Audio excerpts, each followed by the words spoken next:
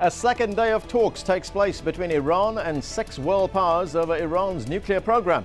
And it's apparent there are serious obstacles to an agreement. We ask, what's next in the standoff between Washington and Tehran? You're watching Inside Story Americas from Washington.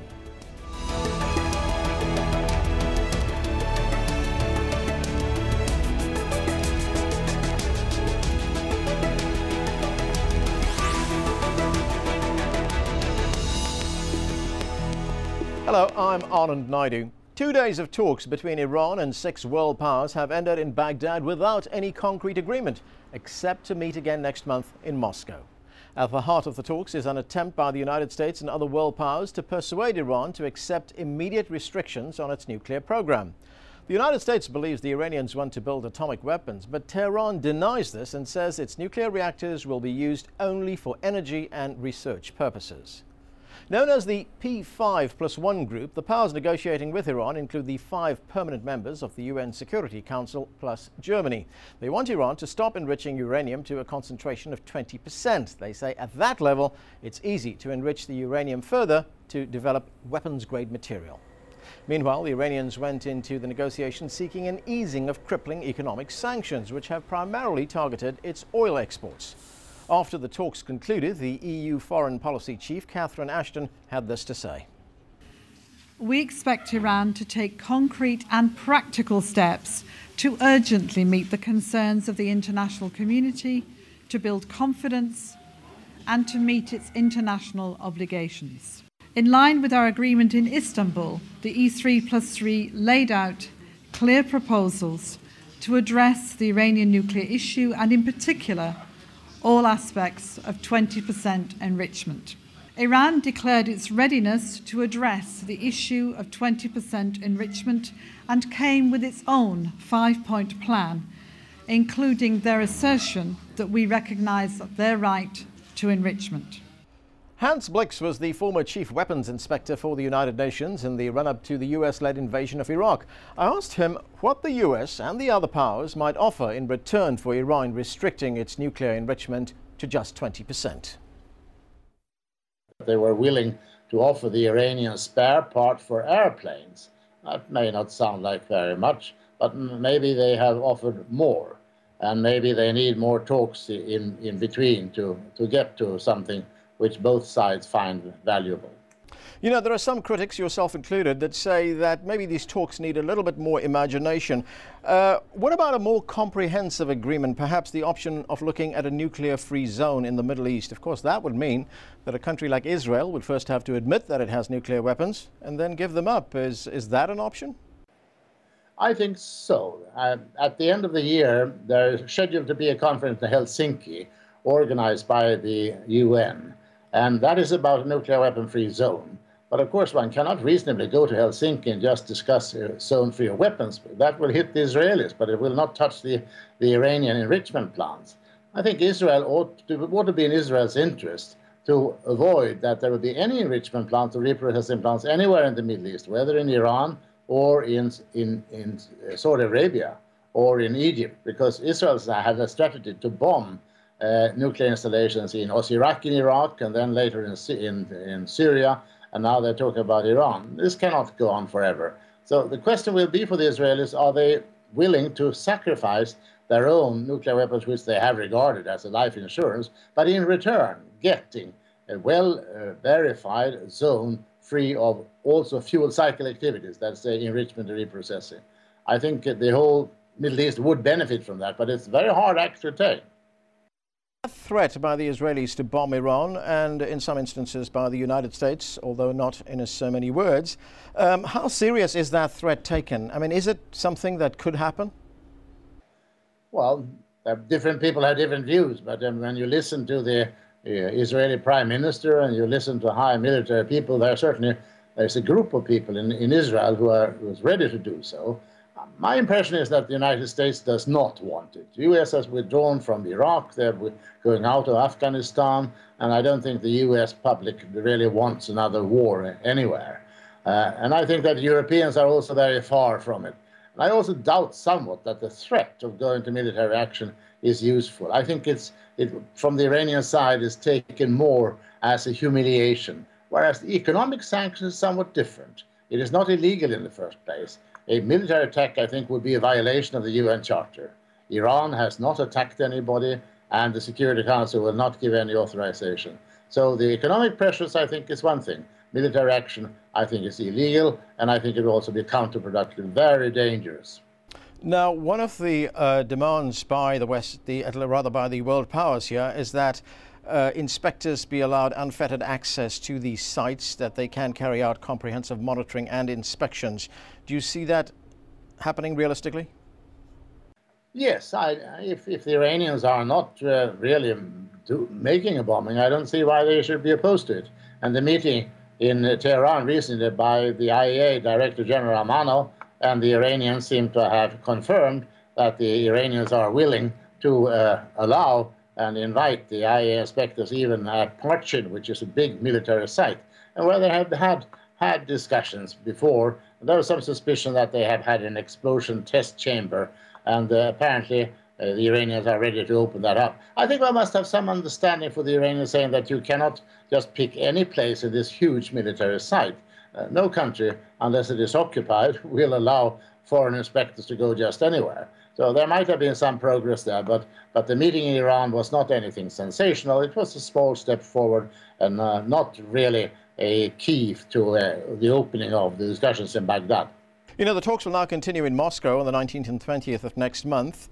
Uh, is that simply kicking the can down the road? I mean, can we expect something uh, concrete to happen before the US election? I think the Russians have, all the time they have been against any military action. They're also skeptical about the economic sanctions, and they feel that talks are and, and, and better offers to the Iranians is the only thing that will work. The, Russia is, after all, much closer to Iran and, than the United States is. So I'm sure the Russians are quite interested in avoiding that the Iranians get nuclear weapons. The same is probably true for, for the Chinese. And the Russians have talked about a step-by-step approach. Exactly what they meant by that, we don't know. But I, I think they are, they are deeply engaged in it and they will try their, their hardest to get to some, some deal. So, can a deal be reached on Iran's nuclear program? To discuss this, I'm joined in the studio by Lawrence Korb, a former U.S. Assistant Secretary of Defense, who is now a senior fellow at the Center for American Progress. Also in the studio is Trita Parsi, the founder and president of the National Iranian American Council. And from New York, Hooman Majid joins us. He's an Iranian American journalist. He's also advised the former Iranian President Khatami on his visit to the United States. Gentlemen, thanks to all of you for joining us uh, on this show. Trita, let me start with you. You know, the talks in Baghdad are finished. They will resume in Moscow next month. And at the end of those talks, Catherine Ashton, who led the world powers into the negotiations, said that there is some common ground, but uh, there are also very big differences. So where are we now? Well, I think first of all, we have to commend the Obama administration for having put together a diplomatic process. We've not seen this in the past, uh, particularly from the U.S. side. There has been attempts at diplomacy, but at times it's almost given the impression that everyone was looking for the uh, first best excuse to just call the diplomacy dead and move on to something else. Now we see the opposite. Even though there hasn't been any direct progress on the substance issue, the process is kept alive because I think the desire on all sides is actually quite strong to try to find an agreement, even though there obviously are going to be some significant stumbling blocks. And I think what happened in Baghdad may have been um, somewhat calculated in the sense that there was an awareness that there is enough time for an additional meeting before European and American sanctions kick in on July 1st.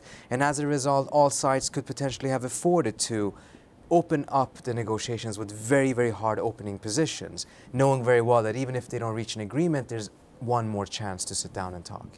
Okay, well, let's take a look at a map which shows the extent of Iran's known nuclear program. There are five known nuclear sites. Iran says they're all used for civilian purposes. In addition, Iran also has three uranium mines, and there are other military and research sites that will be of interest to nuclear inspectors should they gain access to the country. Let's go to Hooman Majid in New York. Um, under the terms of the Nuclear Non-Proliferation Treaty, of which, of course, Iran is a signatory, uh, is Iran allowed to enrich uranium? Course, yes. of course it is. It's allowed to enrich uranium up to any percent, actually, um, a purity. Um, they previously were only enriching to 3.5%. Uh, and only started enriching to 20% uh, after the deals to um, swap that fuel for their Tehran reactor was uh, that enriched uranium uh, fell apart. So yes, under the NPT, of course they are, and that's why they're sticking to that to that point uh, so strongly for the last 10 years. And I don't think they're going to give it up. I don't think they're ever going to give that up. It's now analogous to you know the 1950s nationalization of oil for the Iranians. Uh, you know, it's, it's a matter of national pride, it's a matter of rights, it's a matter of not being subservient to greater powers.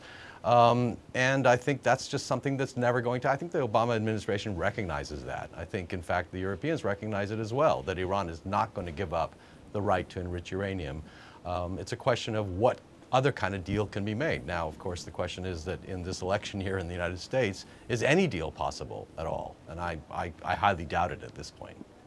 Larry Korb, if Iran is allowed, under the terms of the NPT, uh, to enrich uranium to whatever percentage it believes it needs, what is the point of contention here then? Well, the point is that the percentage that they enrich it to. In other words, there's a big difference between 5% enrichment and 20% enrichment.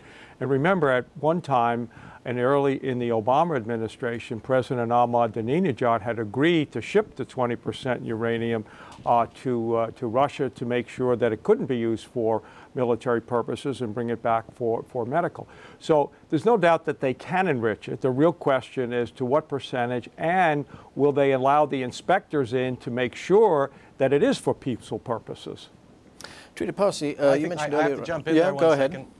I just want to jump in right. Uh, uh, they, Iran never agreed to ship out 20% enrichment before because they didn't have 20% enrichment. Back then, the deal was to ship out the 3.5% enriched uranium. They only started enriching to 20% in 2009.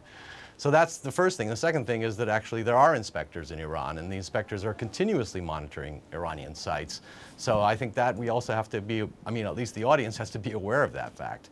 Yes, there are inspectors, but the question is, can the inspectors go where they want based upon the intelligence that they get from the P5 plus one countries? Right, and was the agreement that Iran would ex export this low enriched uranium and in return get right. Uh, high Th there was in 2009 conversations about this, and at that moment the Iranians did not say yes to the proposal. In 2010, the Brazilians and the Turks uh, made an attempt successfully and got the Iranians to agree to it, but at that point the political climate in Washington had changed and the administration rejected their uh, uh, mediation and instead went for sanctions. I don't think Iran has the right to enrich at any level. I think uh, the definition that the IAEA has is that highly enriched uranium starts above 20%.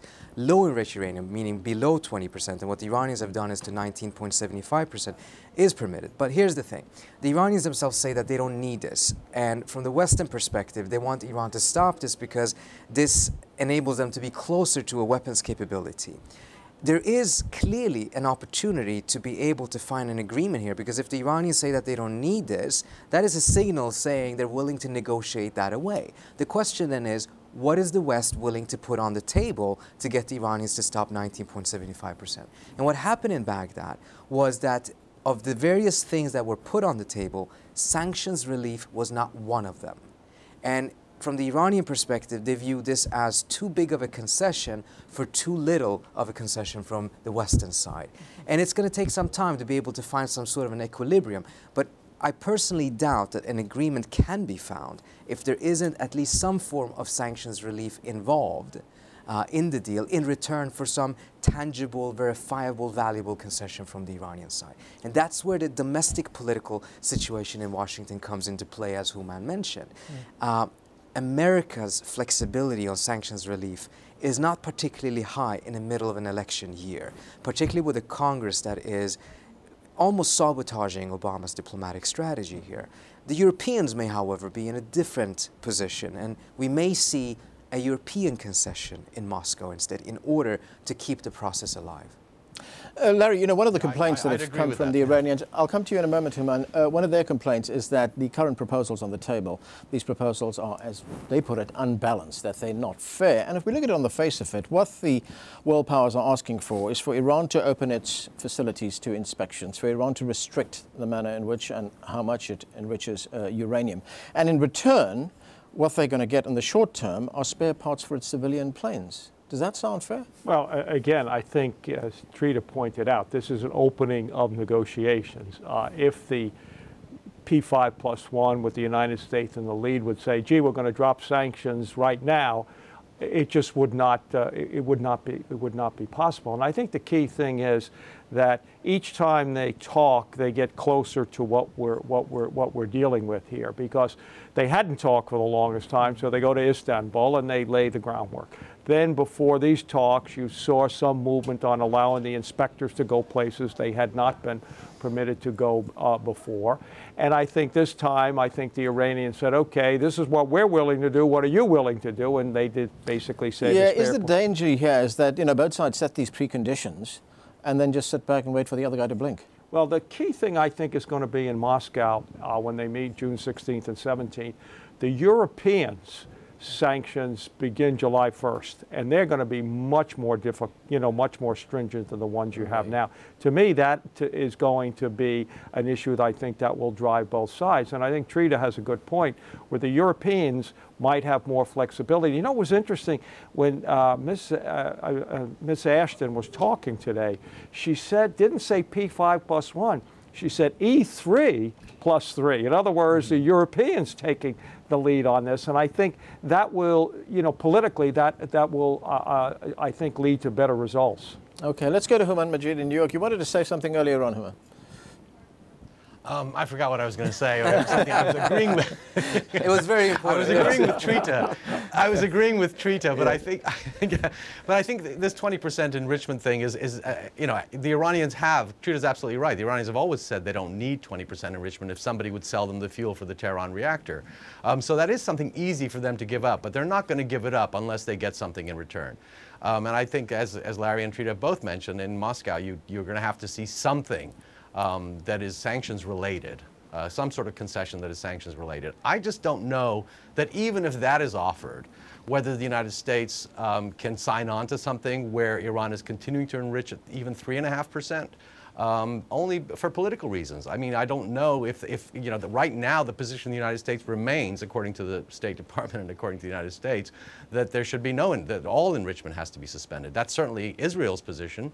Um, so I don't know in an election year if that is a possibility at all. But if it is, great. Then, then you know, I think there is some, there is an, there's an ability to have progress in, in Moscow. Yeah. If I can add one thing, um, there's a need for both sides to be able to go back home and claim that they got something or that they won something, that this was not a defeat for them. Keeping both sides not necessarily completely happy, but content is critical, otherwise the process will collapse.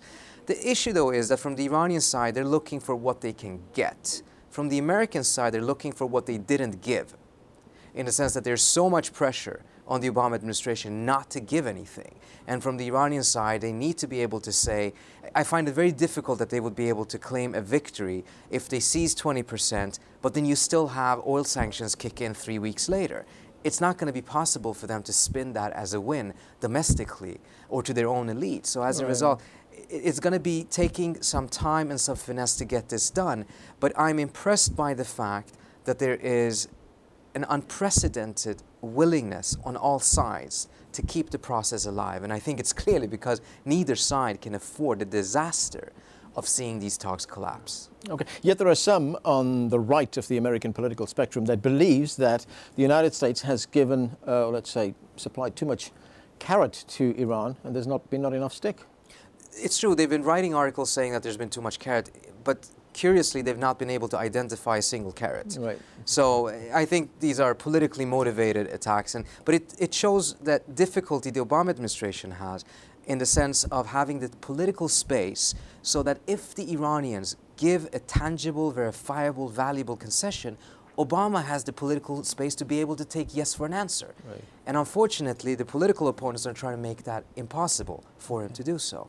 So some of the toughest the negotiations way, may actually not take place in Baghdad, may not take place in Moscow. It may take place in this very city, at home, between the various political uh, factions here. Okay, Larry? Yeah, one way, uh, face-saving way for everybody would be something that was in the Financial Times today where they talked about the fact that we would say that the Europeans would provide insurance for people sell, you know, shipping Iranian oil to Asia. And that would be one way in which that you would be moving. Theoretically, the Europeans and the Americans would not be buying it. The Asians would, which they, in many ways they do. But come 1 July, if they can't get insurance, you won't be, and most of the insurance comes from London, you're not going to be able to, you know, uh, get anybody to uh, take that oil to, to Asia. So that might be, uh, you know, one thing. And, and the other thing, Obama's already paid a big political price. The fact that this is going to be the third negotiation. I can tell you tomorrow people are going to be saying, see, they're just playing for time, and while you're negotiating, they're enriching and getting closer and closer. So he's already paid a, a political price. But right. while he might pay a political price with the Congress, not with the American people. As Hans Blix mentioned, American people are tired of wars. They don't want any more wars. And the idea that you would attack a country with 70, 80 million people after what happened in, in, in Iraq and Afghanistan just won't sell. Okay. It shows a tremendous yeah. disconnect that currently exists between the mood in Congress and the mood in the country. Right. You know, there appears to be also a difference between the IAEA's assessment of Iran's intentions and the P5 plus one's assessment. I mean, last November, the UN's, uh, that's the nuclear watchdog, the IAEA, they published a report saying that Iran's nuclear program was showing military dimensions. It said that Iran has carried out tests relevant to the development of a nuclear explosive device. The report went on to highlight Iran's, quote, acquisition of nuclear weapons development information and documentation from a clandestine nuclear supply network, as well as work on the development of an indigenous design of a nuclear weapon, including the testing of components. Let me go to Hooman Majid again. Now we hear from the IAEA Director General, Yukiya Amano, that, you know, there's hope for a deal here. I mean, is this something premature or does he know something that we don't know? No, I think he knows that in the report that came out last year, that was referring to stuff that happened way in the past. It wasn't current, um, the allegations. And so they were just going back to the allegations that have always existed from the IAEA that Iran has always denied, has always said like the, the, the computer that they had, which was supplied to them by a, a foreign intelligence uh, agency was a, you know, a fraud, was a forgery. Um, so it, I don't think there was any really new information in the, in the 2011 report. Uh, any information that he has now is that basically the Iranians are, seem to be more cooperative in terms of allowing more unfettered access to, to, to the sites that they want to yeah. um, visit, such as, a, such as military sites, which by the way, under the NPT, you don't have to allow, you only have to allow visits to sites right. that are declared nuclear sites. Okay. Trita, let's look at the and, and you, one has yeah. to remember that Iranians, one has to remember that Iranians uh, one of the reasons they're hesitant to allow the kind of access that the IAEA wants, such as access to their scientists, access to military sites, et cetera, et cetera, is that they believe that some of that information has gotten back to foreign intelligence agencies that has resulted in you know, the, the, assassination of their scientists, for example, right. and the, the ability for the West to introduce uh, uh, computer worms into their networks, into their facilities, stuff like that. So okay. I think there's a, there's a real paranoia on the Iranian side about right. allowing unfettered access. Okay, and I want to get to another situation on the Iranian side, and that is domestic political issues in Iran. Uh, is there a division in the religious leadership under Ayatollah Khamenei and uh, the sort of the presidential leadership under uh, Ahmadinejad? Well, Ahmadinejad's political strength has been significantly weakened, and he's not driving this process. In fact, Khamenei has um, claimed far greater authority and has far greater proximity now to this negotiation process, which is quite unique. In the past, he's always kept a certain calculated distance so that he could um, escape the blame of failure while still being able to take credit for any success if it were to occur. But I think the flip side of him taking greater control, which incidentally I think in the West has been welcomed because there's a greater confidence that they're negotiating with the real decision maker. The flip side is that the price for compromise may also have increased. Because for him to step in and take ownership over this process, he's going to require some concessions from the other side uh, that are going to be perhaps a bit more significant than the ones that perhaps the Iranians would have accepted in the past. Okay, Larry Korb, what can we expect to come out of Moscow? Well, I think Moscow is going to be critical because if this July 1st date, if they go ahead with the European sanctions, both on the oil and financial, I don't think there's any hope after that. So I think you've got to come up at least with some steps in which they allow more inspections, talk about shipping the fuel, or do this Asia thing that I, that I mentioned before. I think uh, that really has, uh, has to happen. I do worry. I mean, if it doesn't happen in, in June, come 1 July, and then you put these really difficult sanctions in, I don't know if you can ever get back to the bargaining table after that. Mm -hmm.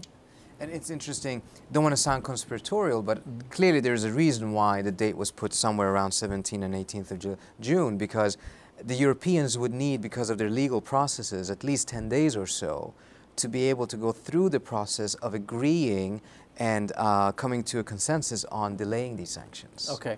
So it's really the last moment there. Right, and I'm afraid that's where we have to uh, bring it to an end. We've run out of time. Larry Korb, Trita Parsi, and Hooman Majid in New York, thanks for joining us. And that is it from the team here in Washington, D.C. for now. Don't forget to follow us on Twitter and Facebook, where you can find more information about the program. And of course, we want to hear from you. Tell us what stories you think we should be covering.